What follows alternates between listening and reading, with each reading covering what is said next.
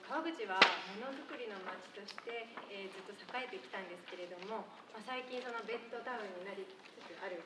いろんな職人さんが少しずつ減っているということとあとあの新しく川口にあの引っ越してこられた方はまだあのそういった職人さんと出会っていなかったりだとかあの知らないことたくさんあるかなと思いまして、えーこれを機に、えー職人さんのことですとかあの作り手のこと、まあ、あのろんなものづくりについて知っていただいて、えー見ていただいてもっと川口をこう好きになっていただければなという思いで企画しました。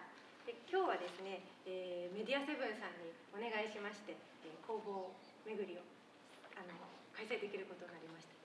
匠のあの仕事っていうのはあの文字とか言葉で伝えるのすごく難しいんですねこういうふうに作りますこういう段階を経てますっていうのすごく難しいので、えー実際に工房に行って、えー職人さんにお話を聞いてその雰囲気を味わいながら、えー見てしまおうというとても贅沢な企画です。す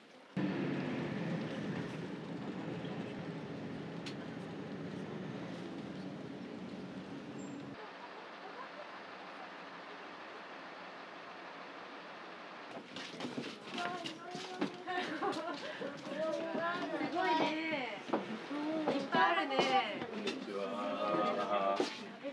私どもはあの日本にも現在はないんですね。ないあの人形劇。からくり人形芝居というの。を皆さんご存知ないですよね。そういうものが今日あるということは。あのそれはですね江戸時代のもう非常に古いんですけど江戸時代はご存知のように前期中期後期に分かれてますねで1600年代のだからば幕府が開かれて大体あの半世紀ほど経った頃にあの初めてですね大阪の道頓堀で興行されたというそういうものがあるんですね。それをあのそれが大体100年くらいであのなくなってしまうんですけどもあのそれをぜひですね復刻して現代によみがらしたいというのが、まあ、私の長年の願いなんですけどもでこの人形はどういう人形かと言いますと茶室で江戸時代にこの人形が現れてえ一番最初にですねえ人々の前に出た時は茶室で遊んだって言われるんですね。で今亭主がここにいるとします。すると招かれた客というのは大体この位置ですよね。こうお茶を立てて手渡しができるわけですよね。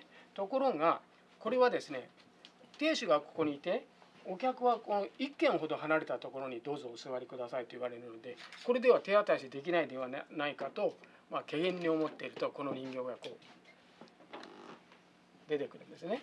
実際に人がこう使うお茶碗でいいんですね。でお茶を立てていきますと人形は頭をこう動かしあ足も動いてますね。しずしずと運ぶわけですね。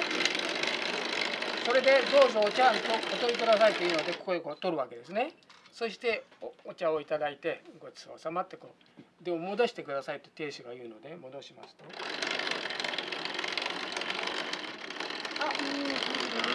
お、ゆかんさん。で再び亭主のもとに空いたお茶碗を持って帰ってくるという。危ない。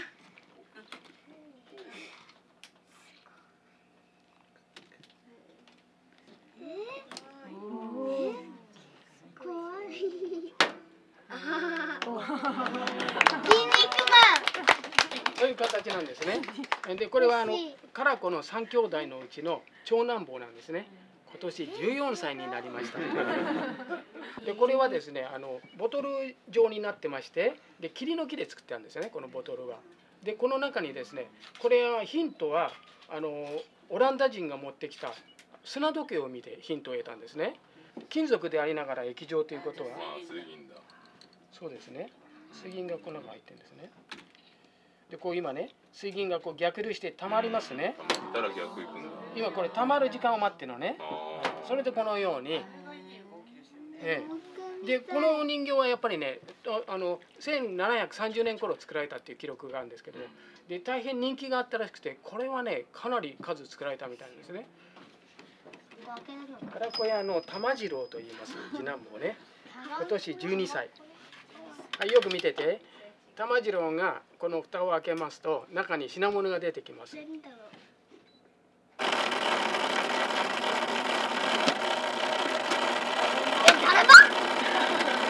く覚えておいて。ねえー、何でだった今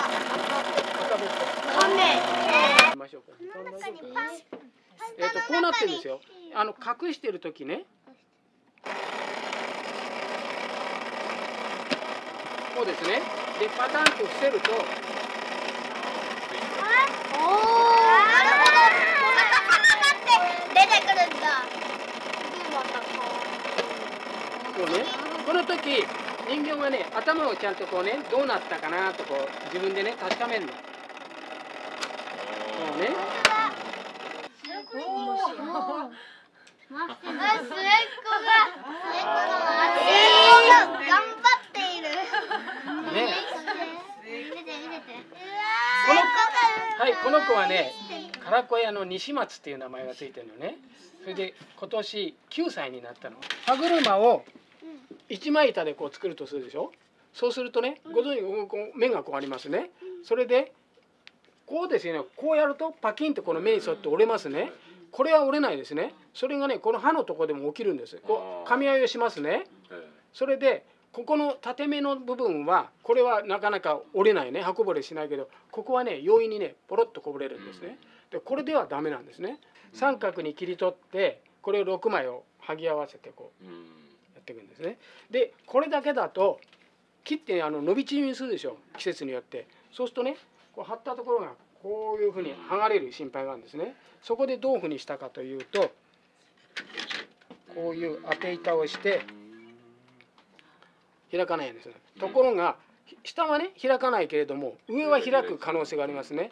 これ江戸時代はここまでなんです。でこれでね実際やってみると開いてくるので10枚作ったうち3枚くらいは。それこでここを処理しなくちゃいけないということで象眼を入れるんですね。はい。でね象眼を入れるだけじゃないの。これ見てくださいね。こう隠し釘をここに入れてるんですね。隠し釘ね。でここに象眼を入れてそういう形で作ったのがこれですね。非常にねあの1年を通じて1年当然湿あの湿気の強い時とそれから乾燥期ありますね。伸び縮みをそれを見込んで一年中必ず動くこれ今ね。皆さんねそのさっきのちょっとお話ししませんでしたが時計技術がどこに取り入れられているかというとここなんですね。この部分。今カラカラ落としてますね。これが時計の技術なんです。時計の場合は1秒間にカッチカッチと言いますがこれ1秒間に5回くらいでもしこれがないとどうなるかというといい？よく見てて。絡まる。し暴走しちゃうわけね。だからこれ千葉でやるとすごく喜ぶのね。これ分かる人はすごくまあそんな形で。さあそれでこの人形をまとめているとこういうことになりますよね。エネルギークジラヒゲで作ったゼンマイエネルギーね。ゼンマイエネルギーがあってそれが暴走しないようにここでエネルギーをコントロールしてますよね。だから難しく言うとエネルギーの制御システムなんですね。そして人のためにお茶を汲んでサービスをするというプログラムになってるからこれはロボットですよね。だから1660年頃つまり17世紀の中頃にね日本ではねロボットの類を作ってたということなんですよ。世界をこう先進国ねヨーロッパを見見渡してもあのゼンマイ仕掛けの人形は作ってるとこあったんですけどね人とやり取りをするなんていう人形を作ってる国はどこにもなかったんですよね。その点がね今日の我が国のそのロボット工学っていうねこういった形で彼らは今出会ってこう言ってます。なんだか初めて会った気がしませんねとか言ってるのね。なぜでしょうか。それはね17世紀の最先端技術を結集して作られたからくり人形。それから21世紀の最先端技術の集約であるロボットですね。で彼らは最先端技術というその世紀その世紀のね最先端技術という遺伝子で結ばれてるわけですよね。だから先祖にあたるわけですよね。だからここで初めて会った気がしないという。このように考えた時ねやっぱり当然のことながら人間界においてもね子どもたちにはその江戸時代のねそういったえいろんな発明者たちの想像力というものがね遺伝子として受け継げられてるはずなんですよね。そのことを考えたらね子供たちにやっぱり期待しないとダメですね。いい子供たち頑張ってよ。この日本を救うのはあなた方なんだからね。わかった？んはい。はい。い。せ一二一二三あーおいしいけどまあいいね。